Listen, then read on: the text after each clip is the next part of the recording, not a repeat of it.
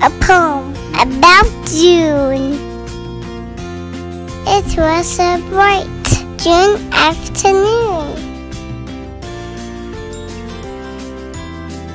So we decided to explore outside.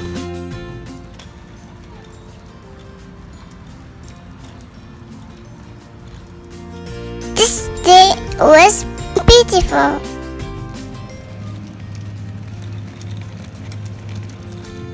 And we have a poem about it. June by F.G. Sanders. Far up in the deep blue sky, great white clouds are floating by. All the world dressed in green. Many happy birds are seen. Roses bright and sunshine clear.